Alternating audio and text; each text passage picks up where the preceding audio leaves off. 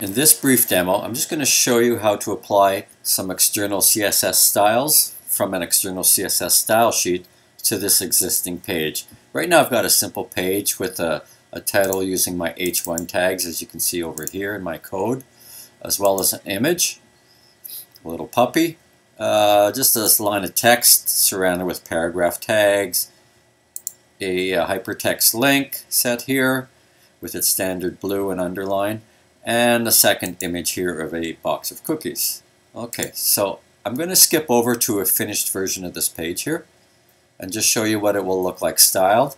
Then we'll talk around how it applies and how the code links from my HTML page to my external style sheet. So before I actually show you the code for the CSS, let me just talk about how we set up CSS styles here. I'm just going to switch screens here a bit. And here are the fundamentals for each CSS style that we would create. We have what's called a selector, and we will do three kinds of selectors today. One is simply attaching it to a generic tag. In this case, the example is a p tag. And then we have the declaration, which is what gets affected to anything that has a p tag around it, and that's called the declaration. Now, within the declaration, we have groups, if you will, of properties, and then with each property, we have a value. So in here we have three separate properties. Starting at the top, we have what's called a font family, which is the type of font. And you can have lists of fonts, and we'll talk about this a little deeper when we get into fonts. But right now, we're looking for to declare it as an Arial font. If the Arial doesn't exist, any sans serif font. And the syntax is the property name with a colon and then the value. And in this case, the value happens to be the fonts separated by commas. The next line down has to do with the font size. How big is the text? Again, the property with a colon and then the size as indicated by pixels. You can use percentages, but I would say for font size, always use pixels. 16px, semicolon. And then down here we have a third element, a third property, which is the color. So we have color, colon, and in this case, the color value can be just typed in if it is a standard color like black, red, green, blue, violet, and so on. There are also hexadecimal codes we can apply here, but for today we'll keep it simple and we'll just use the font name in this, or the uh, color name rather, which is in this case black. So once again, I have a selector called P for my paragraph, and then with the curly braces surrounding the declaration, we have one or more properties with values for those properties. So now that I've shown you that, let me actually show you the finished CSS style sheet for the file that we saw. So we'll go back here, and so we started with this, and then I'm going to switch over here. And here is the style sheet, and you can see the CSS code up here. And I'll just go through it quickly. At the top, if you recall, in my HTML, your name should be surrounded by h1 tags. And you can see here, h1 tags. Here is my selector, H1, my declaration surrounded with the curly braces.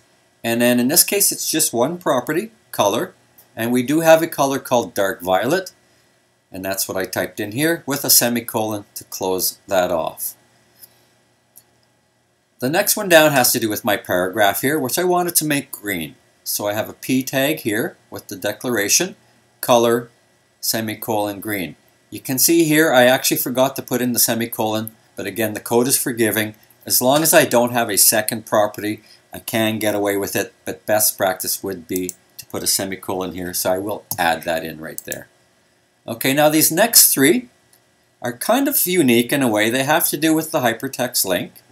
And we have what we call states with links, you know, a uh, normal state, a hover state, and what happens if we've already clicked on it called the visited state. So the normal state is known as the ink, link rather, and we have an A tag, which is the link tag, semicolon link, which addresses the state of the link, which is the normal state, and I have color, green, and we have what's called text decoration, which can show and hide the underline, and we have many more prop, many more values to that, but right now underline is a common one, so text slash decoration colon underline creates that underline. So it's green, with an underline, underline when it's normal.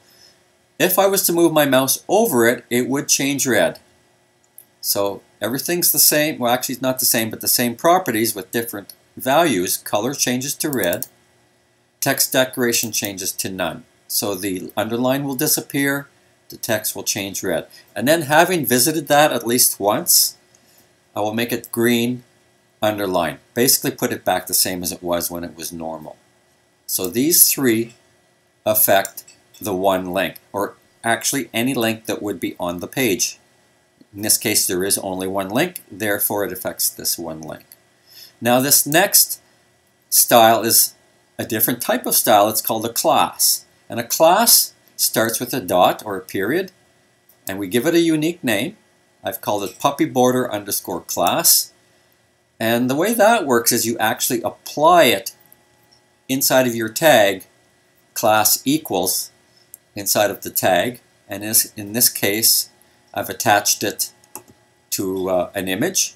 And the properties are border color, dark orange, and it's being applied to this puppy image up here. And I've actually applied a second set of properties to make the bottom of the border thicker. So border bottom width, and the width is 10 pixels. And we do have to declare a border style when we're working with borders. And there are a number, but I just chose the common one called solid right here. So that is what we call a class style.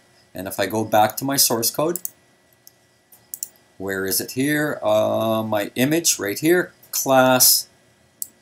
Inside of my image tag, I have a space, then class equals puppy border underscore class. Okay, so that's how that gets applied.